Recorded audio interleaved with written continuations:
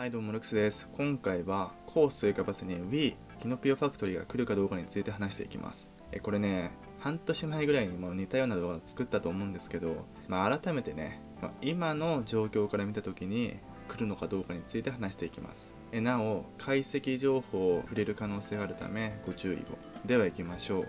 まずね結論としては Wii ルイージサーキットとか Wii クッパキャッスルよりは来る可能性は高いと思ってます。はいえーとね、理由がいくつかあります。え一つは、ここ最近、Wii のリメイクコースラッシュが続いてること。うん。はい、皆さんご存知の通り、マリオカートツアーでは、あらゆる Wii のミリメイクコースが登場しています。はい。え次回ツアーでは、ムーンリッチハイウェイも来ますし、まその流れでキノピオファクトリーがいつ来てもおかしくないとそしてさらにシンガポールスプラッシュの素材にあのコンベアっていう素材ありますよねあれはもうさ見た目からしてキノピオファクトリーと一緒なんですよ。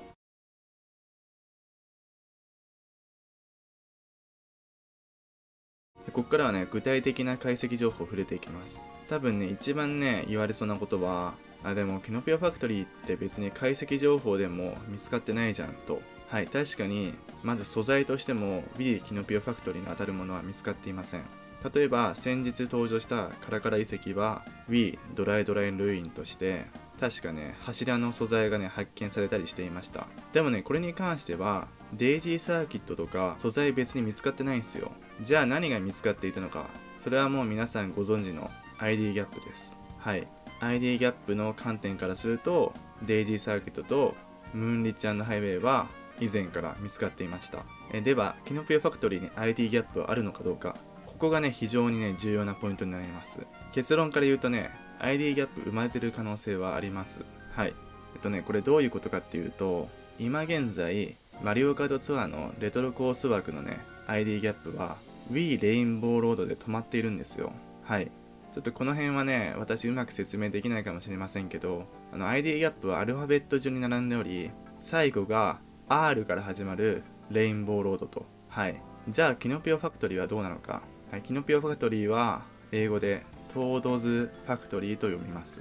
えつまりね T から始まるんですよ。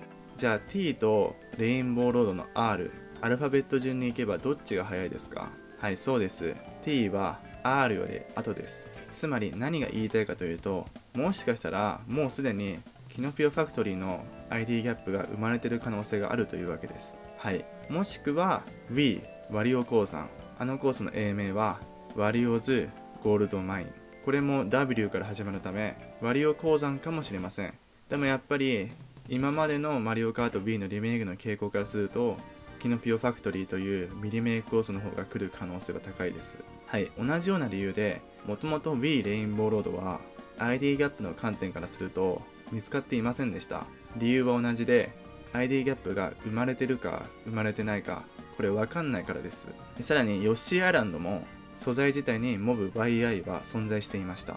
しかし実際にヨシーアランドの ID ギャップが生まれてるかどうかはアルファベット順に行くと Y は後半であるため見つかっていませんでした。はい以上のことから ID ギャップ実は裏で生まれてるんじゃないかなっていうのが私の予想です。まあ確かに根拠としてはかなり弱いですけどちょっとねまだキノピオファクトリー諦めるのは早いんじゃないかなって個人的には思ってます。最初にも言った通り Wii のルイージサーキットとかクッパキャッスルは ID ギャップが生まれていません。はい。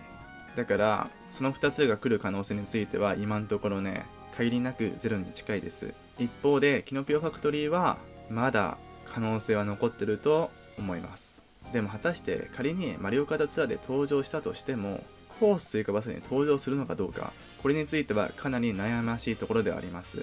やっぱり今までの法則でいくと B コースの残りはノコノコ岬さらにレインボーロード。まあこの辺が妥当ですよね。ただ今まで登場したマリオカートツアーのミリメイクコースカラカラ遺跡はちょっと砂漠かぶりが激しいです。さらにデイジーサーキットロサンゼルスコーストとの見た目のかぶりが激しいです。さらにムーンリッチャンのハイウェイ。これも都市コーストのかぶりが激しいです。ただキノピオファクトリーはどうでしょうか？このコースは唯一無二の工場という世界観を持っています。だから全然ねコース追加バスに追加されるだけのポテンシャルは秘めているとは思ってます。じゃあのこのこ岬がボツになるのか？これについてはね私はそうはならないと思います。仮にキノピオファクトリーが追加されるとしたら第6弾に来るのかなとは思ってます。つまり Wii 虹との同時登場。